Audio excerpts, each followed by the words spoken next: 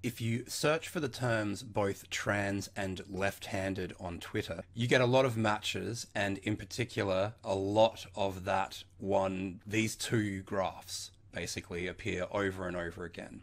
And in part, apparently, that was because this guy, Ari Drennen, first did a tweet and then did a follow up video called The Left Handed Epidemic Gripping America. Earlier this year, I had a tweet go somewhat viral in the way where I heard from a lot of old friends. I pointed out in response to someone's concern about the rising number of youth who identify as trans that in shockingly recent history, all children were also forced to write with the right hand. That when that practice ended, the number of left handed children increased by nearly a thousand percent. Dude, this is not a 1000% increase you have gone from 3% to 12%. That's maybe a 400% increase if you're being generous. In 1932, just 2% of people in the United States wrote with their left hand. Also, at no point does this line get to 2%. 2% of people. And the closest it ever does is at what appears to be 1907. 1932. 1932 would be around this area of the graph where 8% of people were left handed. So that's not to put the blame on CritFacts specifically. This is a piece of misinformation, I guess, that has become quite popular in the trans community. It's been promoted by, as you've seen, hundreds, thousands potentially of people. And there's this staunch insistence that you know, this is based in science, but they don't actually really give a shit about what the data's saying. On a gathering storm comes a non-passing man in a shiny white coat with a trans left hand.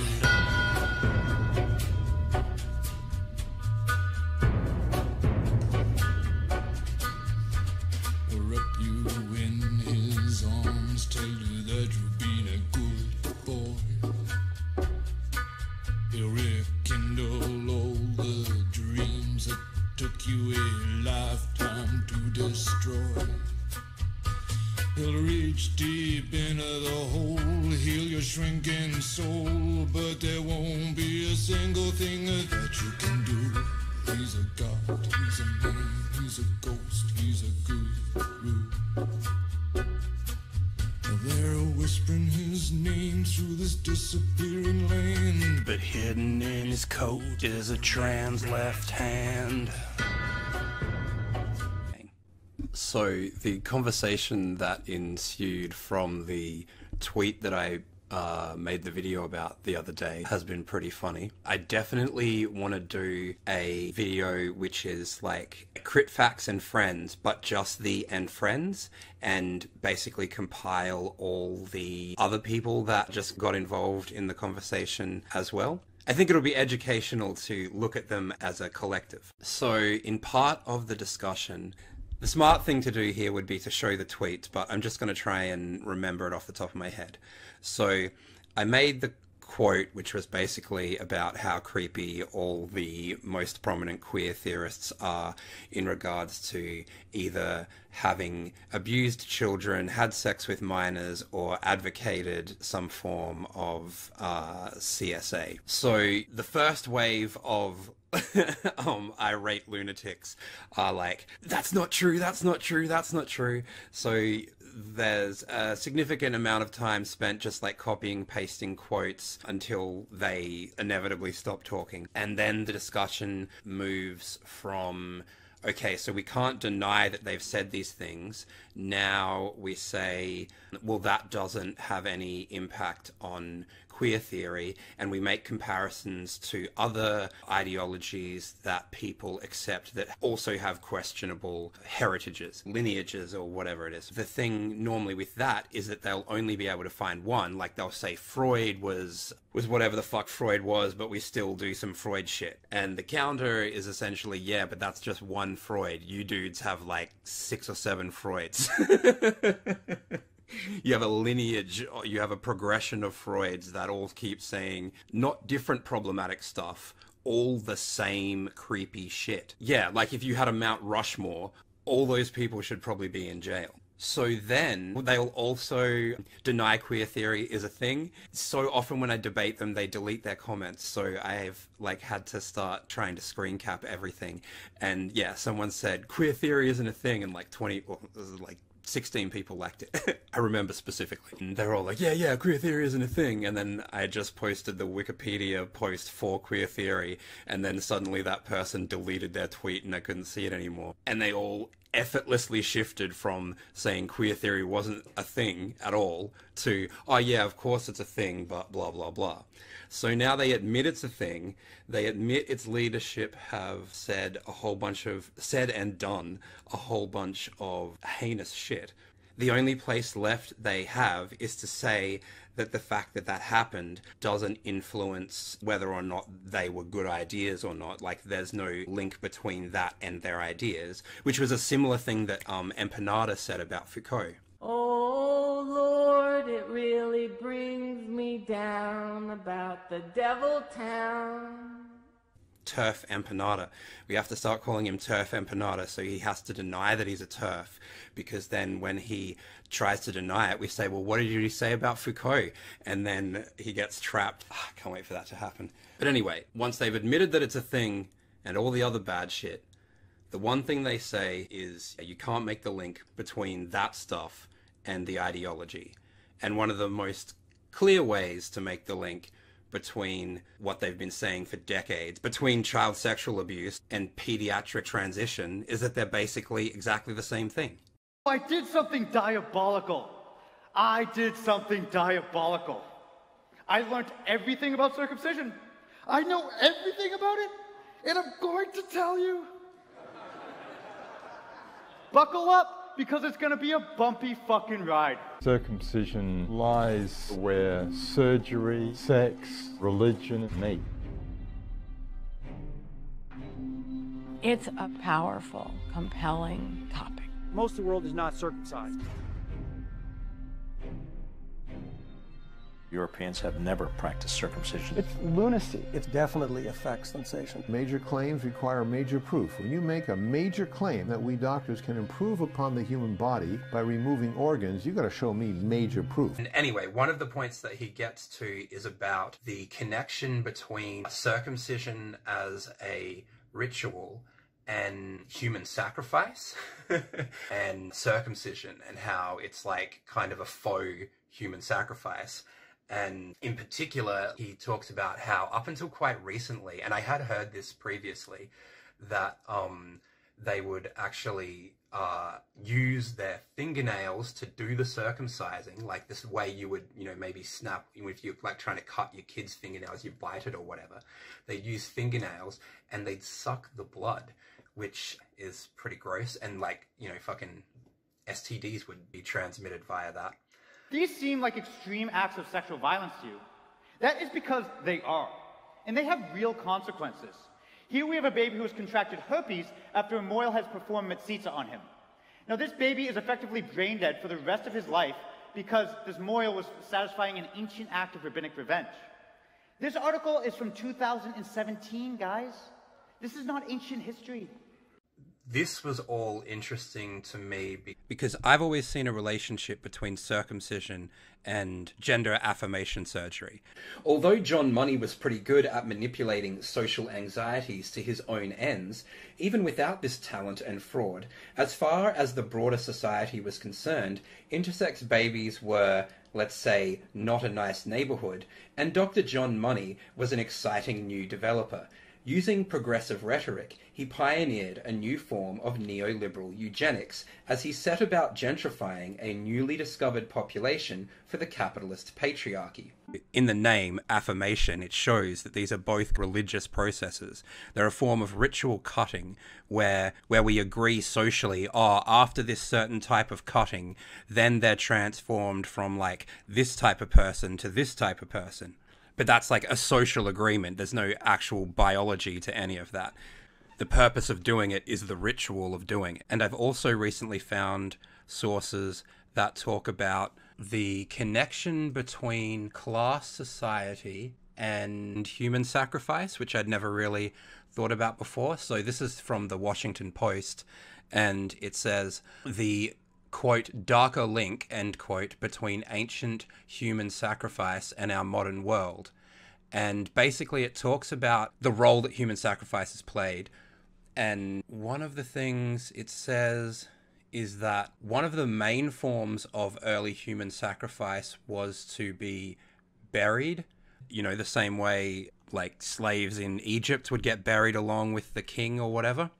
So that shows a direct correlation between human sacrifice and class society, the idea of like people as property. That once the person who owned you was done owning you, you stopped existing um, and also that this played a role in stratifying society that the more human sacrifice you had the more it divided the society into classes so the story begins 12,000 years ago. Sigmund freud surmised that circumcision started as a step down from child sacrifice. So instead of sacrificing the child you would just sacrifice an essential part of him his genitals. Now, these genital blood sacrifices eventually lessened until just parts of his genitals were sacrificed, his foreskin. Now, many people erroneously believe, if you can believe it, many people erroneously believe something, but many people erroneously believe that circumcision started in the Old Testament, the Jewish holy book. Actually, Judaism adopted circumcision from tribes circumcising in the area. But if we take a look at the Holy Covenant in Genesis, we can see what it has to say. Every male among you who is eight days old must be circumcised, whether born or bought with your money, or bought with your money, they must be circumcised. And the eighth and final rule this is your first night at Fight Club, you have to fight. Any uncircumcised male will be cut off from his people. Now, a couple things to notice here. Every baby must be circumcised, and slaves too, because that was cool at the time. And if you weren't, and if you weren't, you were cut off from your people, which was tantamount to a death sentence in ancient times. Now, Leonard Glick, who is a Jewish man with a medical degree and a PhD in cultural anthropology with a specialty in genital cutting, we gotta get his balls. It's useless to fight. It's really a powerful gesture, Mr. Durden. Assures me that this is not even the original covenant. It was appended to the Bible in 500 BC for two reasons. Now, the first reason is the child is circumcised when he is a baby, so he has absolutely no choice in the matter. This forever forces him to look Jewish. Now, this promotes tribal cohesiveness, a primary objective of all tribal leaders, as they have a vested interest to maintain the social order of the tribe as they enjoy their status at the top of it. Now, the second reason is a little more interesting and plays to the underlying psychology behind genital cutting cultures. But let's use a modern day example fraternity hazing. Right. If the applicant is young, tell him he's too young. Old, too old, fat, too fat. Don't you look at me. Do you think you're ever getting in this house? You're never getting in this fucking house. Never. Get the fuck off my porch. Get off my porch! Fraternity hazing. This is the second in my series of videos on modes of production. In the first one, I dealt with the Neolithic Revolution the transition to agriculture, or to horticulture at least. In the second one, I'm dealing with the beginnings of the transition to class society and the rise of patriarchy. Now, according to historical materialism, there's a relationship between economic surplus and class. The Hovetrekke home Exer bike, or the Johanneshov sofa with the Strinne green stripe pattern, even the Rislampa wire lamps of environmentally friendly unbleached paper. I'd flip through catalogs and wonder what kind of dining set defines me as a person. A precondition for the formation of classes in a society is that there's got to be a food surplus. But this is not enough by itself to create classes. A food surplus by itself might just extend the division of labour, allow some people to specialise in, in non agricultural work, some of them to be potters, some to be smiths, etc. And a society with farmers, smiths, and potters is not as such a class society, even if the trades become hereditary, since the relationship between the trades would still be one of equals. There wouldn't be any exploitation at that point. Class formation requires more than this. It requires that at least part of the food surplus goes to support a group of people who are no longer engaged in physical production. And this non productive status has to be something that is inherited and passed down through the generations. Now, in addition to consuming more food, the upper classes had a disproportionate share of other goods clothes, jewellery, utensils, ornaments, etc. So the surplus they consume is not just a food surplus, it's a general surplus. It's a surplus of the general labour product. And food surplus is just a precondition for this general surplus existing it. Because if there wasn't a food surplus, there'd be no food for, for craftsmen. And if only enough cloth was produced to clothe the working population, then the rulers would go naked. If emperors have got clothes, there must be a food surplus. If kings are shodden, there must be a leather surplus. So that surplus moves beyond just being a matter of food and becomes a surplus of other products as well. One can look at this diagrammatically. Start off with a subsistence food economy where everyone grows the food they need themselves. The formation of a food surplus starts to allow craft workers, and as the food surplus gets bigger, you can have more craft surplus, more craft workers, and some of the food is going to the craft workers, some of the food now goes to a non-labouring class, and they then consume part of the output of the craft workers. But that by itself isn't enough. Lots of things are needed. A class society requires a surplus, but the reverse isn't necessarily the case. A food surplus doesn't necess necessitate an exploiting class. To do that, you need other misfortunes. You need war, patriarchy, and religion. The sequence is population expands and uses up free land. You then get conflict over resources, and this gives rise to the warrior role. In small communities, this means raiding, raping, and capturing women. From this arises the patriarchy and subordination of women, and from it also arises the capture of men to work as slaves, so that you get the transition from an initially egalitarian society to a patriarchal slave economy as the next stage. Now, there are laws of statistics behind this, and it's to do with how community size affects its reproduction. You have to realize that in any community, the basic reproductive resource are the young women in the community.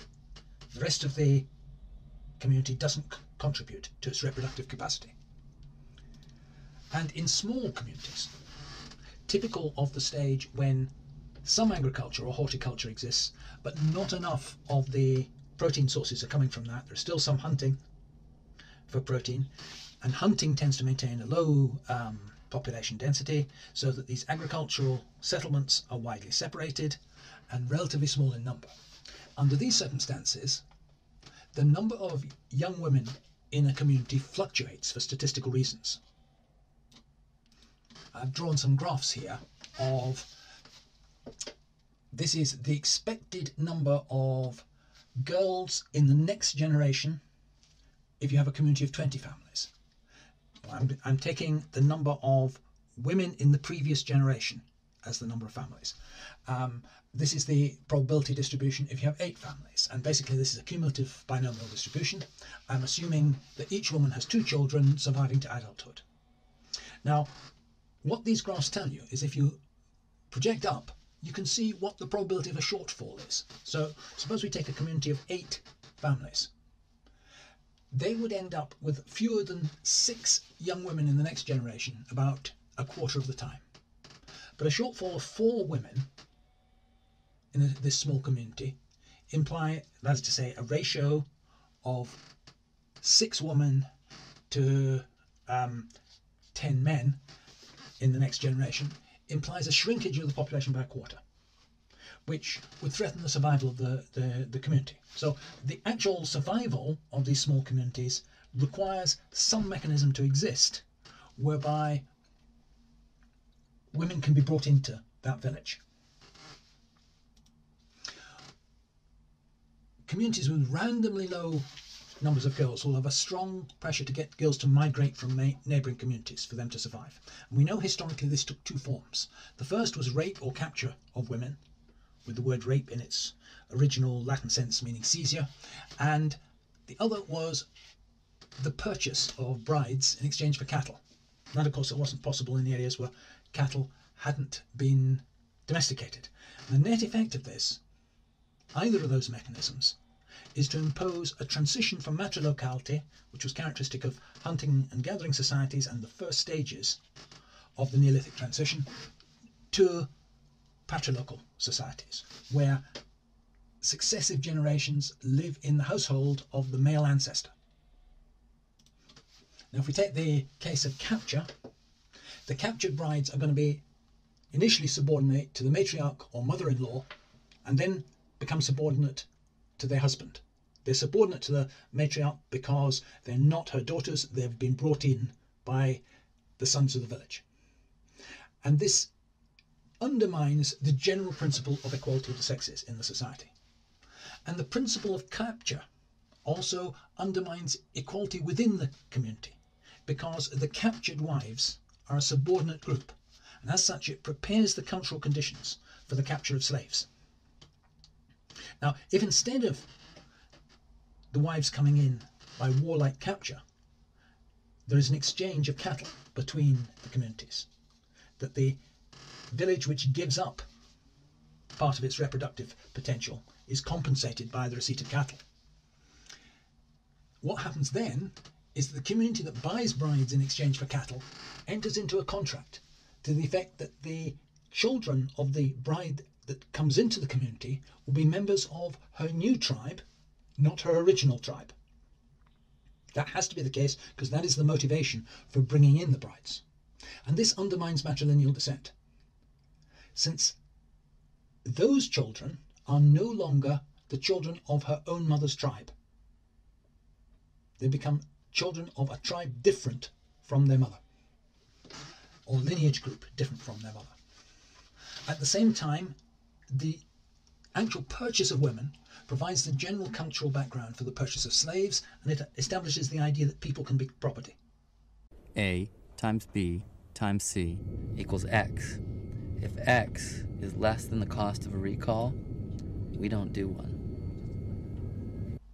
And it establishes the practice of, for instance, blood money, compensation of one tribe for another in terms of cattle if one person is killed. So what we see here is a contradiction. The initially egalitarian matrilineal society, once it transitions to settled agriculture, generates internal contradictions that nullify its initial conditions of existence. And this is a general feature of the transitions between social forms.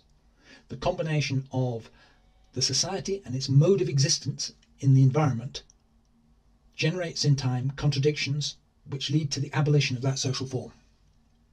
Now, how can it be resolved?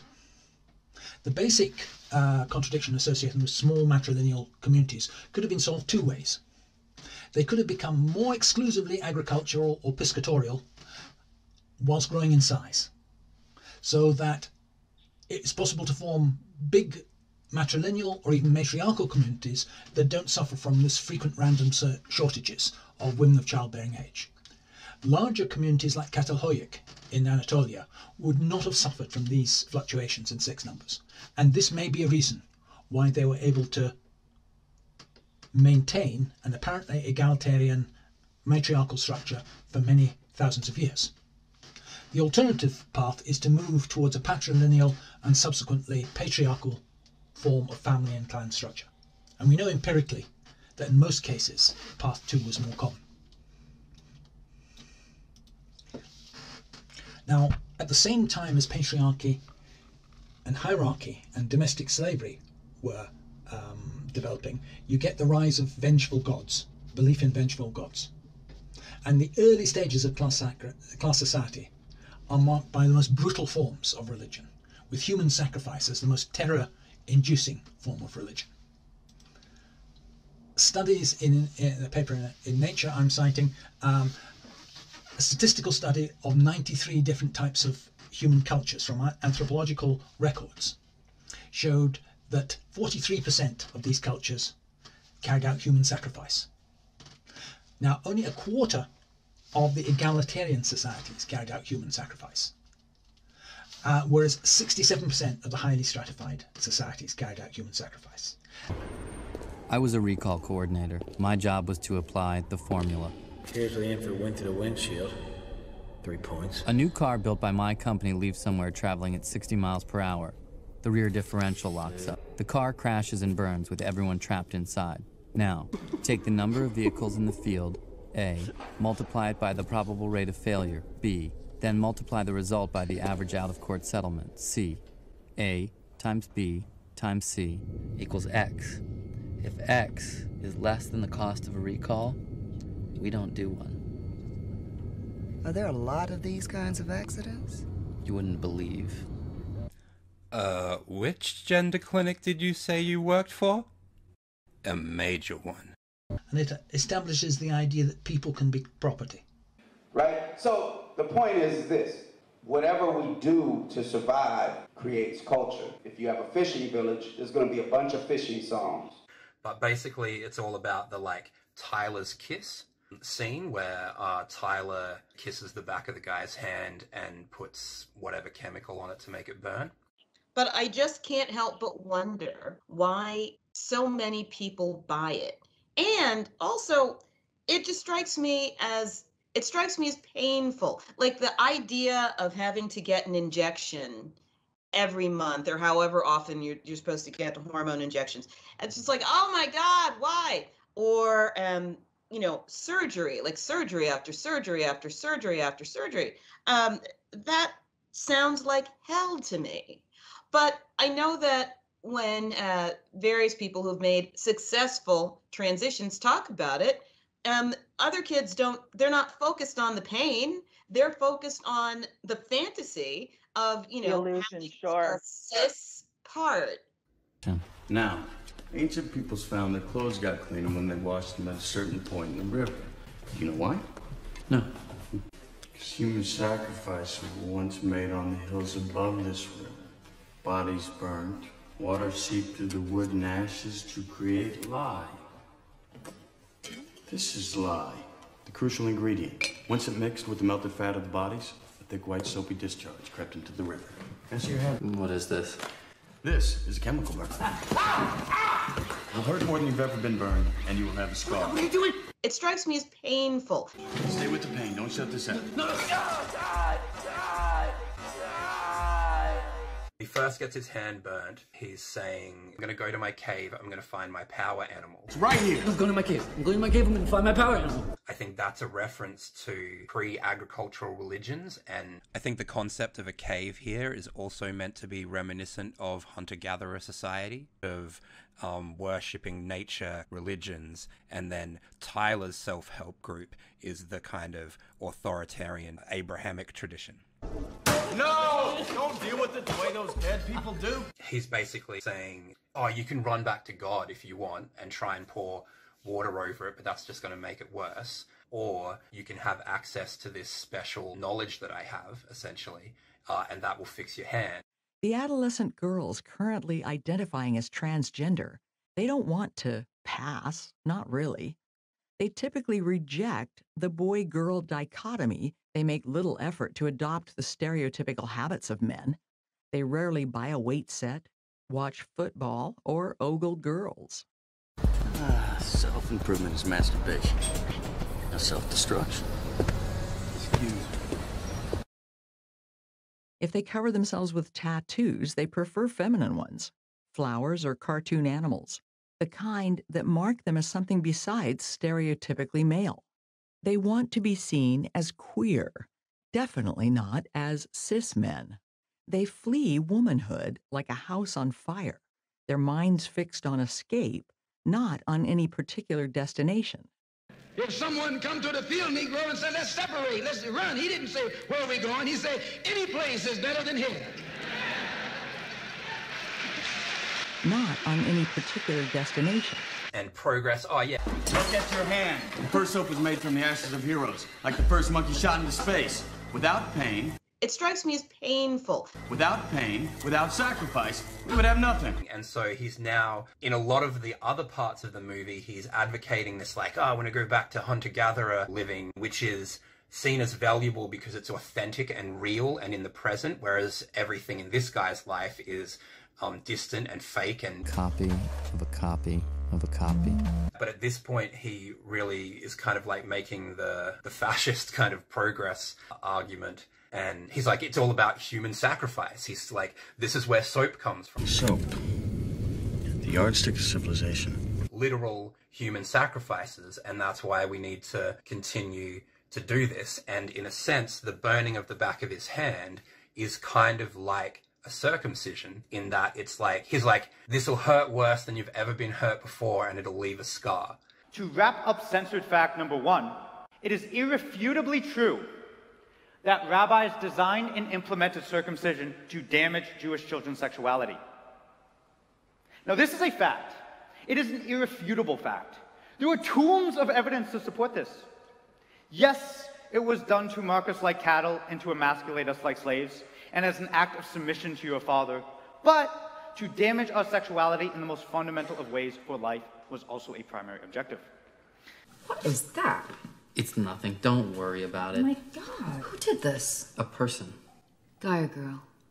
What do you care if it's a guy or a girl? What do you care if I ask? It's ask? none of your business. You're Leave me afraid to alone. say. I am not afraid No. to say, let me go. No. It's in keeping with the general hazing type way that Project Mayhem and Tyler recruit people, where there's a sense that people have when they have sacrificed that whatever they did must have been worth it because they sacrificed for it. So people will be less likely to leave something they've sacrificed to get into, even if it's just as without merit as, you know, something that's been given to them for free. So it's a great opportunity, and you're walking away from it.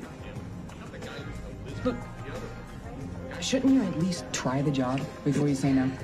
Waste everyone's time, including my own. Kim, I appreciate your concern, but it's not for me. I don't want it. Jimmy, do you remember how long you studied for that bar?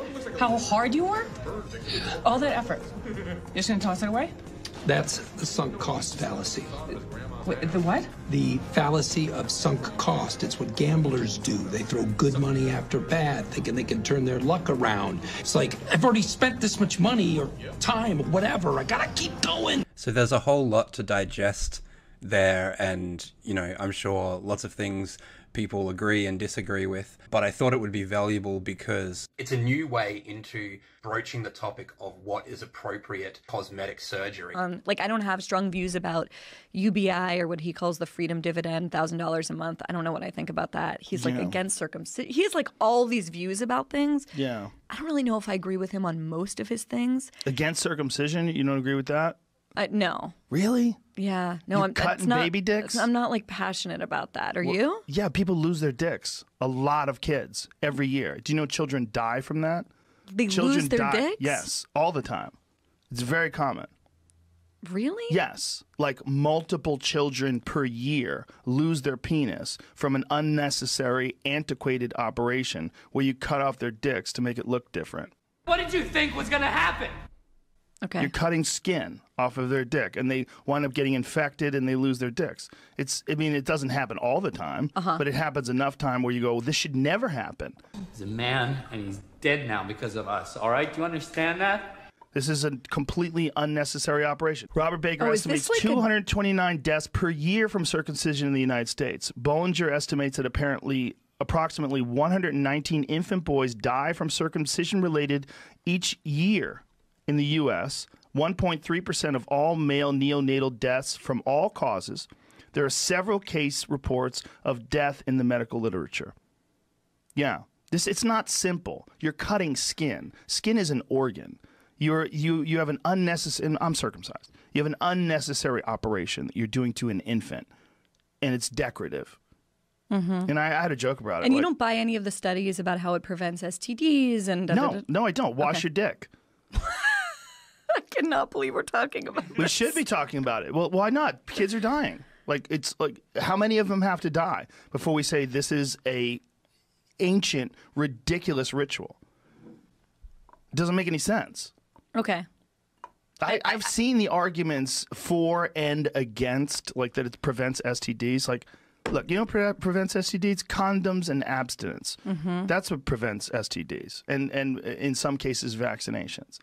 This is what prevents STDs. This circumcision is ridiculous. Doesn't even make any sense. Okay, cannot believe I stumbled into this because I was talking about Andrew Yang. We fucked up. I guess I did. I didn't know this was like a strongly held. You're an intactivist. Is that what they're Yes, it's called? whatever. Intactivist. That's a good way to put Mhm. it. I've never heard that expression, but that's Yes. exactly what I am. Yeah, don't cut baby dicks. It's real simple. When you say it that way, people go, "Yeah, that sounds gross." When you say, "Oh, circumcision," like, "Oh, Mm. what a wonderful ritual," and it's, it's symbolic of your journey into get the fuck out of here. You're cutting baby dicks. It's it doesn't make any sense. as I've said before, before if you were crazy enough to want to hack up the genitals or like cut the breast off a teenager, you had to become a serial killer. Now you can order that at McDonald's. If anything, McDonald's is subservient to trans at this point. If McDonald's went turf, McDonald's would I don't know, they could turn the tide potentially. Ronald and JK. Although if we're trying to make a distinction between the between the abusive deviance of queer theory, then we might not want to put a clown as our mascot. So anyway, at some point, CritFacts said it's literally a patient-driven decision. But before we get to the rest of that quote, I just want to address this bit here where he says, like, you do know blockers aren't transition, right? Well, tell that to Jazz Jennings because as a result of the medication Jazz Jennings was put on, Jazz's penis didn't grow properly.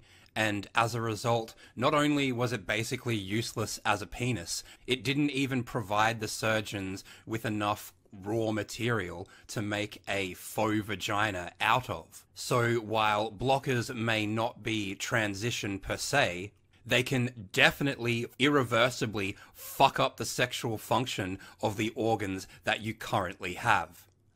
With risks laid out as clear as possible, as with every other medical procedure for kids. To which I said, it doesn't change the fact that the child is still incapable of informed consent. You can explain a tattoo to a 16 year old, they still can't get one. To which CritFacts said, Name a condition where lack of a tattoo causes major and persistent distress, and then the two cases can be considered comparable. And so this is where I wanted to begin the video. It appears as though you are misusing the word cause. It is a mistake to believe that if it is the case that transition alleviates distress, then it can therefore be said that a so called lack of transition is therefore causing said distress. This is not at all logical. Almost by definition, the lack of a cure cannot be said to be the cause of an ailment. Using that same reasoning, one could say that a lack of a plaster cast caused a broken arm, or a lack of paracetamol caused someone to have a headache. Remember, lobotomies were also often carried out in part to relieve distress, but no one would say that a lack of a lobotomy causes distress, despite the fact that it's undeniable that people are typically much more calm after they have been lobotomized. Also, in the case of young people with body dysphoria, the distress may often be related to being either homosexual or autistic. Many people who are homosexual and or autistic do not realize that this is the case until well after puberty. Hey everyone, it's me, Ben, or GNC Centric, and today I'm going to do a video about how I, a lesbian, believed for many years that I was a gay trans man. Okay, so the very first thing to understand is that I learned about gay homosexuality between males before I joined the queer community. So for them, I understood that it was a male and a male. Then I joined the queer community, then I learned what lesbians were. And I learned that lesbians were someone who identifies as a woman who's attracted to other people who identify as women. So everything got gendered instead of sex based, right? Um, so if you haven't caught on, all of this is like based on internalized lesbophobia. I will explain. So I hated my female body. I hated all female bodies. Anything to do with like female experience of sexuality was like out of my mind and like irrelevant to me. Um, the concept of like lesbians was like always out of my mind. It was something I couldn't even think about. It was something that was like irrelevant to me, um, which I recognize now is just denial. So the concept of like being with a man is inevitable is like it's part of compulsory heterosexuality. I'm gonna put a link um, to Adrienne Rich Rich is essay Compulsory Heterosexuality. So yeah, despite like feeling that I was supposed to be with a man, um, I changed it from a straight man to a gay man because then that took out the like heterosexual possibility of babies. Like not literally, of course if it was possible I could have gotten pregnant or something if I had actually like done that. But like in my mind I was like with two gay men, the whole thing of like being a mother is like not even there, so I don't have to worry about that, which again is like another way that I was in denial of my femalehood. I think that this was just like my mind finding ways like very slowly over time to cope and make a situation where I was with a man sexually a survivable situation. Yeah. So I think that what I just described is not unique because I'm going to put a link to a Twitter thread or two in the bio here. I mean in the description. Um because I know like at least 6 lesbians who are detransitioned or re-identified who used to believe or live or act that like they were gay trans men because they believed they were. And then like after detransitioning or re-identifying or um, they realized they were homosexual females or they realized they were homosexual females and that's why they detransitioned. That was kind of what happened with me. And I think that there is a significant number of trans identified females right now who are in relationships with men, who are on Grindr, who are having sex with men, who their entire relationship is based on dissociation. Their entire sexuality is based on dissociation. Um, it's extremely unhealthy, and I worry a lot about them. Like, I know some people are going to find this offensive, but I think there's a lot of trans identified females who are actually lesbians who have so much internalized lesbopho- um, lesbophobia that they've gone from like I'm a female who's attracted to females, even if it's like in the back of their mind something that they can't acknowledge, to the very opposite end as far as they could go to I'm a male who likes males. As far as you can get from lesbians is gay men, right? As far as you can get from ever interacting with another female body is being a gay man, right? Um, and also like gay men there's like a bit of a like we hate female bodies, vaginas are gross, that kind of thing. Like when you hang out with gay men and you already hate your female body, they're like reinforcing your dysphoria and you feel like, oh, this is right. They feel the same way as I do. Um, so I, I just, I think there's probably a lot of lesbians who are in that situation right now who, were they in a different environment, they wouldn't be acting that way um, or experiencing those feelings. I'm guessing. So the one thing that helped me so much was I went to um, Michigan Family Reunion in 2017, and there was just so many butch lesbians everywhere. They weren't like trying to be masculine, or they weren't like trying to be trans men. They were just naturally butch, and like they weren't like putting thought into it, or like it wasn't an act or a costume. And I realized like that's just like me. I'm just naturally like that. And then seeing all of these like lesbians of like different ages seeing that they're like happy and they're okay and everything is fine. And also um, in that festival there was no males allowed so a lot of the females would walk around without their shirts on. And just seeing these lesbians who were so comfortable with their bodies um, it had a big impact on me. Yeah. So it helped me a lot. Like the number one thing i would recommend for somebody who is like struggling to realize if they're a lesbian or not is to like hang out with some lesbians. Yeah. So that's the end of my video. Um, if you have thoughts or questions, put them in the comments. I'm also always on Twitter if you want to strike up a conversation about this. Again, I know that this video will probably offend some people, but I'm just relating like my experiences, my thoughts, my opinions. Um, trying not to take it too personally. Okay, bye. In addition to gender identities growing dramatically in number within specific demographics, they are also suspiciously absent from others. For instance, very few middle-aged women transition, not even the autistic or gay ones. Women and girls tend to transition early in life and obviously then get older but they don't typically begin their transition at, for example, 45, like lots of men do. This is because middle aged women are too old to have the anxieties of working out their place in the world that are faced by teenagers and young adults. A decade ago, if it ever occurred to you that female to male transsexuals existed, you might have thought of Hilary Swank's portrayal of Teena Brandon in the 1999 biopic Boys Don't Cry. Swank's characterization is captivating.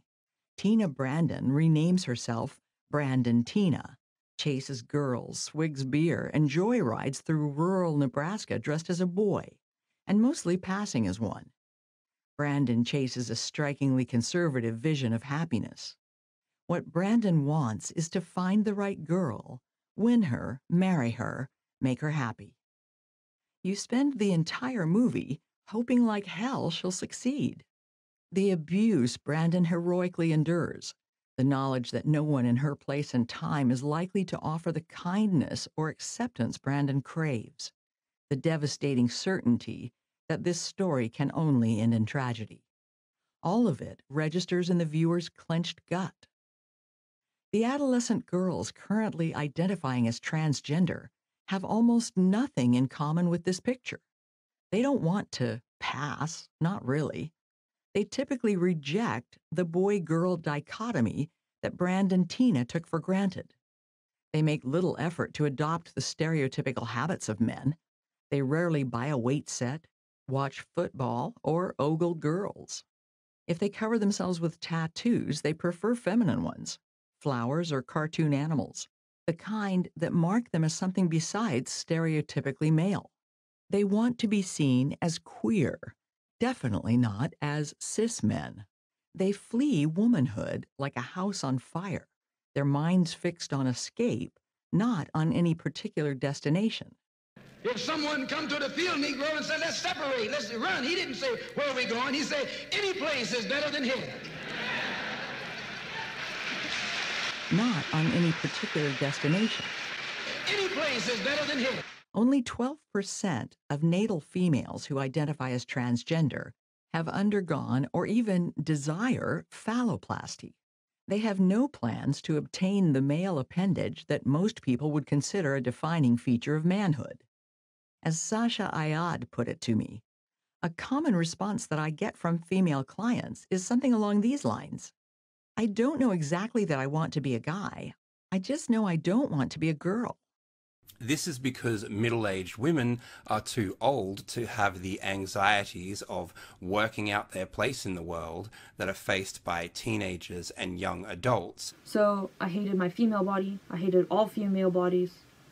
Anything to do with like female experience of sexuality was like out of my mind and like irrelevant to me. The concept of like lesbians was like always out of my mind. It was something I couldn't even think about. It was something that was like irrelevant to me, um, which I recognize now is just denial. Who taught you to hate the shape of your nose and the shape of your lips? Who taught you to hate yourself from the top of your head to the soles of your feet? Who taught you to hate your own kind? Who taught you to hate the sex that you belong to? So much so that you don't want to be around each other. No, before you come asking J.K. Rowling, she teach hate, you should ask yourself who taught you to hate being what God gave you. This is because middle aged women are too old to have the anxieties of working out their place in the world that are faced by teenagers and young adults, and at the same time, they are not men, and as such, don't have male levels of porn consumption. The reason this is relevant is that many prominent so called trans women and or non-binary femme people, i.e. men, especially those who transition in middle age, will attribute their transition to pornography in some way. The video you linked to about puberty blockers by Mia Mulder tries to compare trans identities to left-handedness. There are a bunch of reasons why this comparison is not helpful to the point you want to make. The first is that left-handedness increased across the population uniformly in a way that gender identities did not. For example, left-handedness did not increase dramatically in homosexual and autistic teenagers, and then also in old men who watch a lot of porn. Also, this increase took place over nearly half a century. On the other hand, the increases in referrals to gender clinics took place over the period of about seven or eight years. And even then, left-handedness only increased from 3 to 5% to around 12%. This is not just smaller, but many times smaller than the increase in trans identities that has occurred specifically among particular demographics such as teenage girls. What the gender theists have taken the time to ignore is that gender identity and left-handedness had very different starting points in terms of their prevalence in the population during what we are to assume is their socially suppressed periods. When left-handedness was persecuted, 2.5% of the population was still left-handed.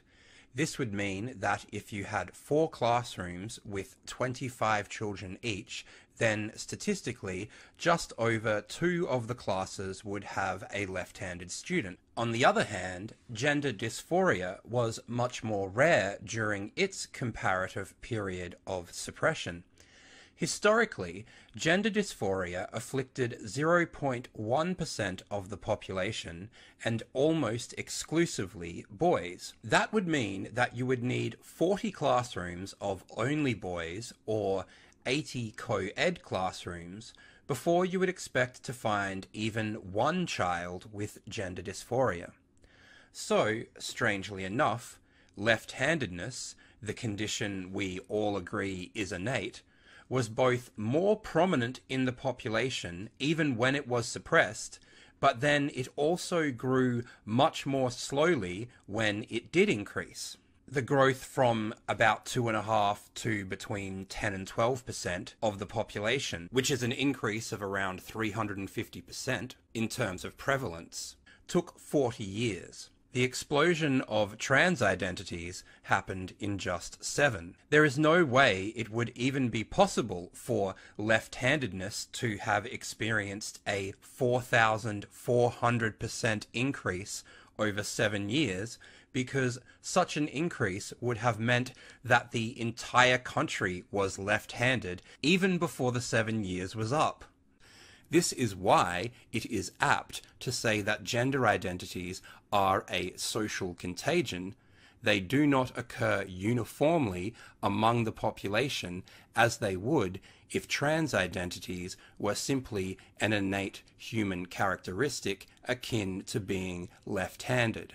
Funnily enough, in uh, Mia Mulder's video, he actually tells parents I thought that this would be a video on gray areas but when it comes to the science, the science is in. But I had to do a lot of research to do that. I had to go through many scientific articles and consult friends and scientists. Ooh. who can know how to decipher that. Um, it's very difficult. It's so difficult, in fact, basically every moron with a video camera is doing it.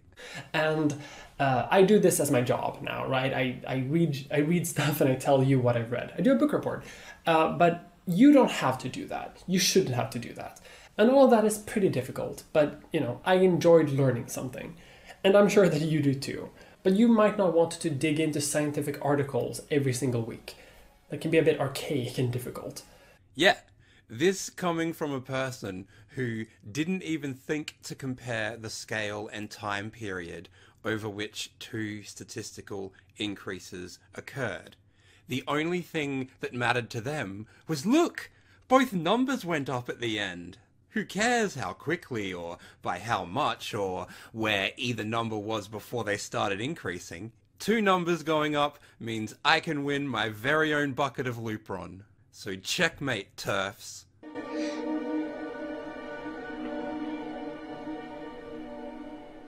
So you want to know the truth?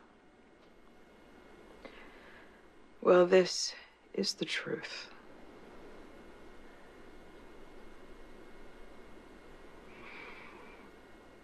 Gender is my best friend. Together we can do just about anything.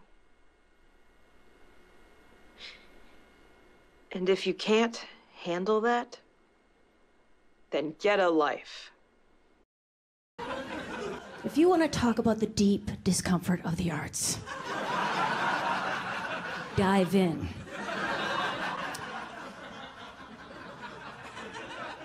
So, um,